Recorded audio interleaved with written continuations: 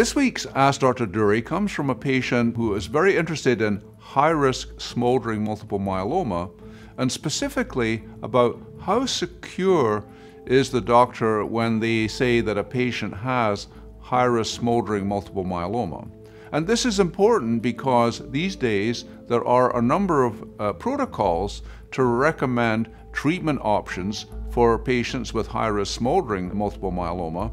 And one needs to be secure that there is a need for this kind of therapy. High risk smoldering is a situation where there is evidence of some aspects of myeloma, but no CRAB criteria, no indications of uh, activity destroying bones, causing anemia, or the like. The criteria that we use to say that someone has high risk smoldering are indicators that would suggest that myeloma will emerge within 12 to 18 months. The criteria that we currently use are the two 2020 criteria. The two is the level of the M component, the myeloma protein in the blood. The 20 is the percentage of plasma cells in the bone marrow, and the other 20 is the free light ratio, the abnormal over the normal.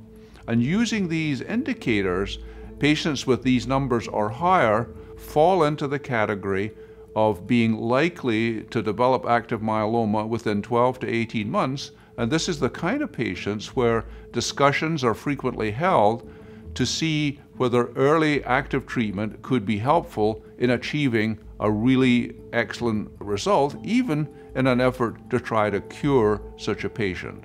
Questions have been raised as to whether or not this 220 system is reliable enough. And uh, there are other systems that, that doctors can use. And so I think it is a very reasonable question for this patient. What I can tell you is that using the 220 system, having a risk score of at least 12 is really quite secure. Such patients 70 to 80% of these patients will in fact develop active myeloma within a year. And so patients in this group can be quite secure that, that the risk is indeed true and important in terms of decision making. For other categories, there is a, a, need to try to improve to be a little bit more secure beyond the 50 50 risk level.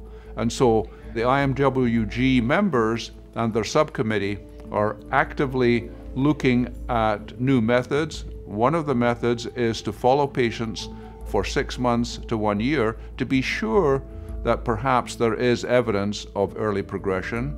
And another new idea, which I think will turn out to be perhaps the most important, is to see if there are myeloma cells in the blood and how many myeloma cells there are in the blood. We have indications from studies by several experts now which indicate that if there are myeloma cells in the blood, this does reliably indicate a trend towards active myeloma. And so these kinds of testings are now being evaluated and will likely be implemented uh, soon. And so the bottom line for this patient today is that this is a very important question. We are looking at the reliability of the 220 system, which is reliable, uh, particularly for the higher risk uh, groups, such as 12 risk score or better. And if there is any doubt, for sure, there should be a decision to watch and wait and make sure what is the status of the patient. Uh, the main thing is to be sure that no CRAB criteria are emerging. We do not want patients to evolve such that they might develop bone lesions or kidney problems or some other indications of active myeloma. So it is a fine line, and we will be very keen to see our uh, new studies and to see if we can do uh, as good a job as possible to accurately predict patients who do indeed have high risk smoldering myeloma.